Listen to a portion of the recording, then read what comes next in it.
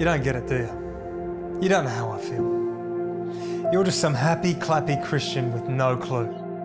I read the book of Job. Fun read. Made me even more depressed. This is why I got out of church. It's full of people like you. Did you read the whole thing? No. Well, if you had, you'd have seen that he gets it all back at the end, even more than he had in the first place. And do you know how that happens?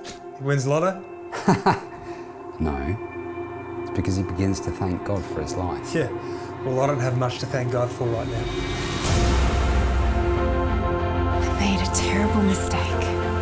One that I regret more than anything. Daniel, wait! You're selling our place? You haven't earned a cent in 12 months. Where's all the clients? Take a seat. Welcome to Jimmytown. Population two bachelors. You know, forgiveness is not always about forgiving those that do us wrong. Sometimes it starts with forgiving ourselves. In 2013, um, my wife discovered a lump on her chest.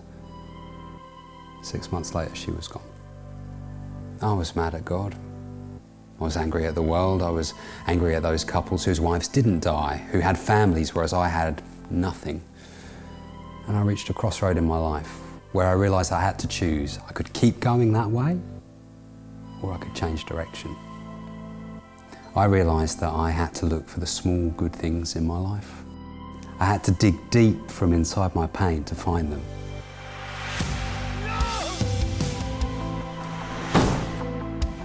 I hate you! Sir, can you hear me? Yes, everyone suffers in this life, and some people more than others. But that's life. That's what makes life what it is. And even in that pain, there are good moments. And if you let them slip by, then you're letting life slip by. You need to learn to thank God. Because this, yeah, even this, is part of the plan.